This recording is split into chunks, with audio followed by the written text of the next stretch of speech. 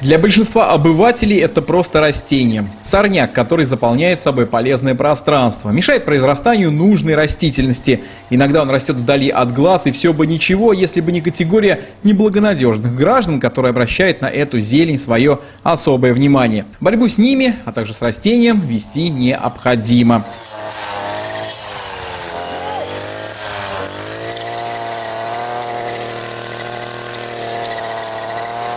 Дикорастущая конопля каждый год появляется то тут, то там. Очередной очаг выявлен на этой неделе около села Калиновка. В рамках э, проводимых мероприятий сотрудниками МВД России по Сергиевскому району совместно с администрацией сельского поселения Калиновка выявлен очаг произрастания дикорастущей конопли, в связи с чем принято решение о ее ликвидации. На место прибыли глава поселения, сотрудники отдела МВД России по Сергиевскому району, а также представители административной комиссии. После осмотра территории, на котором произрастала конопля, было принято решение ликвидировать очаг возникновения незаконной растительности. Обычно для таких целей используют колесные или гусеничные трактора, но здесь ввиду особенностей местности, работа велась с помощью триммера. Обычно привлекаем мы технику тяжелую уже с дисками.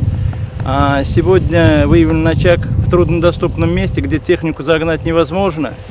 Приходится вручную. Данные мероприятия на территории района проводятся ежегодно. Осуществляются они в рамках операции МАК. Сотрудники ОМВД ведут пропаганду среди населения, работают в тесном взаимодействии с главами поселений. На своей территории нам больше где известно, где обычно произрастает это дикорастущая конопля, где летние лагеря, например, раньше располагались где свинокомплексы, где молочные стада находилось. Именно такая, где на органика присутствует, там и произрастает дикорастущая конопля. А нам эти места более известны, и совместно с сотрудниками полиции мы проводим эту работу. Площадь произрастания в этот раз была значительная. Потребовалось немало времени, чтобы уничтожить всю незаконную растительность. Нет сомнений, такая же участь ждет и другие дикорастущие и не очень очаги, если таковые будут выявлены. Дмитрий Сурков, Александр Жуков, служба новостей телеканала «Радуга-3».